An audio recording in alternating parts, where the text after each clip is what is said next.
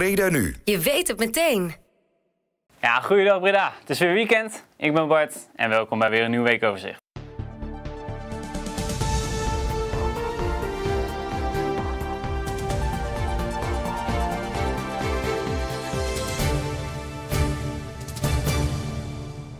Ruim 14 jaar geleden begonnen de plannen voor de Haagse Beemde. En hierbij werd speciale aandacht geschonken aan het vele groen in de omgeving.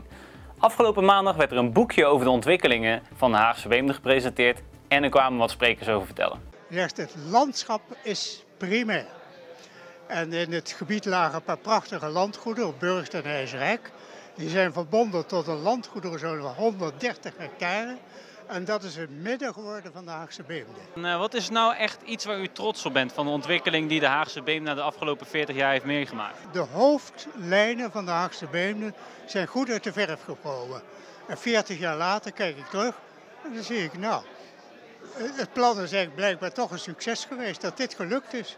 Um, ja, trots op sowieso inderdaad het, uh, het groen. Dat vind ik heel fijn dat je overal inderdaad de kleine pleintjes hebt. En uh, dat je inderdaad, wil je ergens naar het groen, je bent er zo. En vooral gewoon de mensen, dat is uh, iedereen die ik ken die in de Haagse Beemde, die woont er eigenlijk nog steeds. Niemand wil weg en dat is voor mij het mooiste van de Haagse Beemde. ik ben trots wat we bereikt hebben, zeker in de Haagse Beemde. Maar ik zou nog trotser willen zijn. Door nog meer te kunnen betekenen voor die wijk dat er nog meer leefbaarheid in die wijk komt. Want uiteindelijk daar doen we het voor. Onze doelstelling van de wijkraad is de leefbaarheid in de, in de wijk, in de ruimtes in de sport.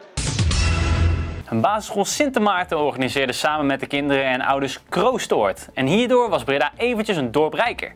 Er was enorm veel te doen, zoals een rijbewijs halen, nep tattoos zetten en natuurlijk heel veel snoepjes.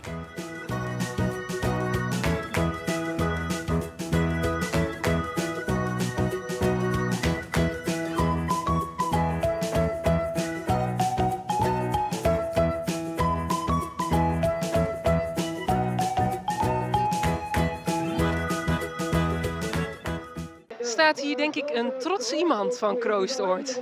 Ja, absoluut. Na maandenlange voorbereiding uh, ja, dat, uh, is het allemaal gelukt. En we hebben een geweldige dag, dus uh, zeer trots, absoluut. Wat vind je tot nu toe het leukst wat je gedaan hebt? Um, ik denk mijn rijbewijs halen. Hoe, was dat lastig om te doen of hoe ging dat? Ja, het was heel moeilijk.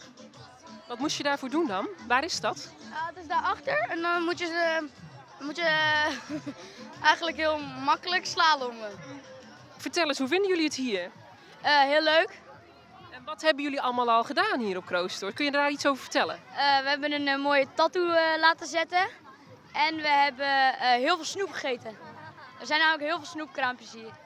Ehm, de stormbaan. Bij Welcome Beach vond laatst het evenement The Beat plaats. En met muziek uit de jaren 50, 60 en 70 was er genoeg gezelligheid. Dames, hoe is jullie dag hier tot nu toe op Welcome Beach? Ja, superleuk hè? Ja, eigenlijk uh, geslaagd tot nu toe. Ja, leuke muziek, leuke mensen, lekkere tosties. Het is koud. Oh, waarom is het zo koud dan? Nou, omdat het lekker is. Maar het is wel... Waar gaan we heen? We gaan, we gaan proeven. Geen idee.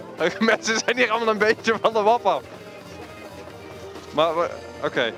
Ik zie die ijskomman nergens staan, dus we kunnen gewoon dit nu doen. Oh. Doe dit thuis niet na, dames en heren. Bent u zelf niet de ijskomman? Weet u dat zeker? Nou, ik heb deze pet gestolen net. Oh. Kijk, dit is, dit is een uh, passie. Lukt. Hmm. Ja, volgens mij lust de cameraman ook wel wat. Maakt wel goed. Hoe kijkt u er nou terug zo deze dag op Welcome Beach? Ja, superleuk. Het is, uh, het is heel vrijblijvend en uh, er zijn veel bekenden, dat is leuk. Dus, er spelen leuke bandjes en het geeft het Breda gevoel een beetje. Het is, het is, ja, het is gewoon gezellig. Afgelopen donderdag was een debatwedstrijd in het Onze Lieve Vrouwen Lyceum. Hieraan deden zeven scholen mee met in totaal twaalf debatteams. Ja, dus wat leren nou de kinderen eigenlijk bij zo'n debat? Als je aan debatteren begint, dan denk je wel eens, het gaat om vooral hard roepen en overtuigen echt alleen maar vanuit jezelf. Maar de kunst bij debatteren is juist je inleven in de ander, luisteren naar de ander en zo goed luisteren dat je eigenlijk argumenten van die ander probeert om te draaien. En daar hoef je niet voor te schreeuwen, maar daar moet je vooral met heel veel visie en veel lef op een goede manier over kunnen praten. En dat kunnen ze als de beste hier binnen. Laatst was er een uh, terrorist weer vrijgekomen. En die had daarna de politie aangevallen. Uh, ik vind wat je nu allemaal zegt heel vreselijk en et cetera. Maar jullie gaan niet in op de stelling. De stelling is namelijk, een levenslange gevangenisstraf is inhumaan. Jullie gaan nu enorm in op welke mensen wel in de gevangenis moeten en niet in de gevangenis moeten. En welke wel in de gevangenis moeten blijven, et cetera. Maar jullie gaan niet op het punt in. En uh, ja, er zijn een hele hoop verschillende onderwerpen. Ben je een beetje tevreden met het onderwerp dat jullie hebben gekregen?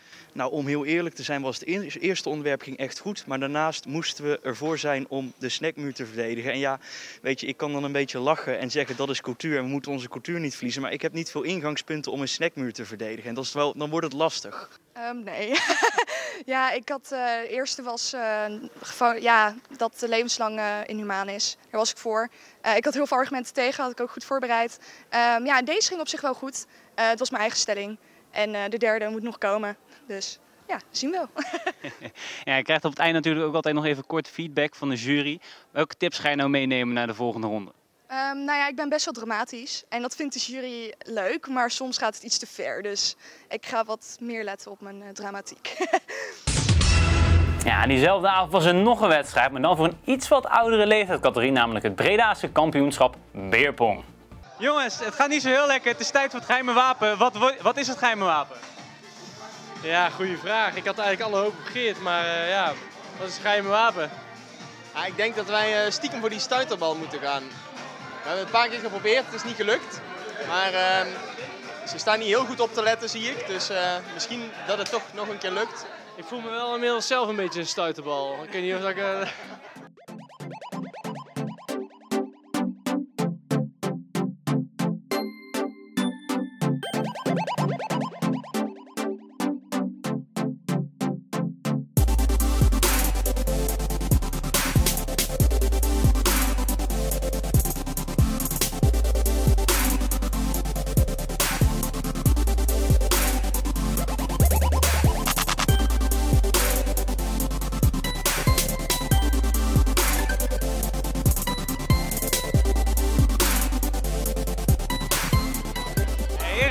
net een ronde gewonnen. Sommige mensen zouden zeggen dat is beginnersgeluk. Wij weten allebei dat dat niet waar is natuurlijk.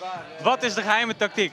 toch een jaar lang trainen samen met z'n tweeën. En uh, toch afgelopen jaar een trainingskamp samen gedaan in uh, Mallorca. Dus uh, ja, dat, dat zie je nou wel. Ja, sterke discipline is al te zien. Inderdaad. Gaan jullie de volgende ronde ook nog winnen? Sorry? Gaan jullie de volgende ronde ook nog winnen? Daar gaan we wel voor, ja. We gaan wel gewoon voor die streak. We zijn al een paar maanden ongeslagen samen. Iedere week lopen we te trainen. En we gaan wel gewoon voor die ongeslagen streak. En uh, ik heb er alle vertrouwen in. Uh, dat gaat lukken, ja zeker. Die beker is dus van jullie? Sorry? Die beker is van jullie? Ja, dat is wel het plan, ja. ja daar gaan we 100% voor, ja.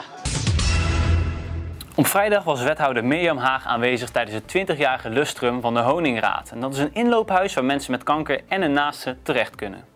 Er zijn in het verleden, in 1998, zijn er een paar dames geweest die zeiden van nou, in het kader van de psychosociale zorg is wat extra aandacht nodig.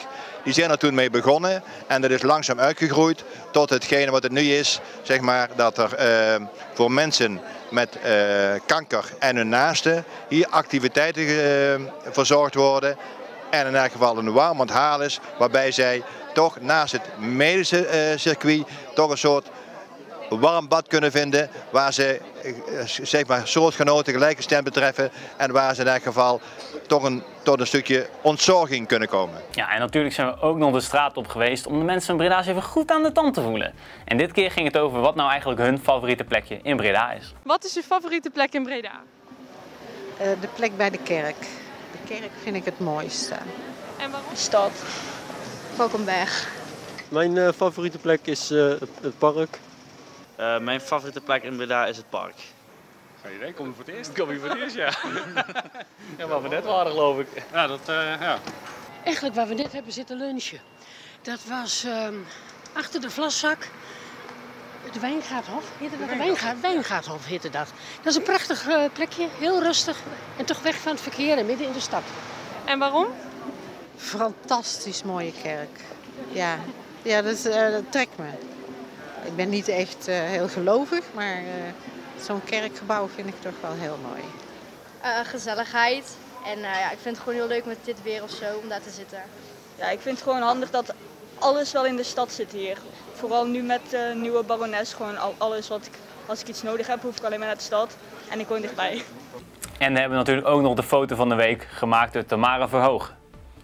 Heb je zelf nou ook een mooie foto gemaakt? Stuur hem dan gerust op naar redactie bredanu.nl. Ja, lieve kijkers, dat was het alweer voor deze week. Volgende week zijn we natuurlijk gewoon weer met de laatste nieuwtjes en highlights van in en rondom Breda. Zoals altijd een fijn weekend en nou doe.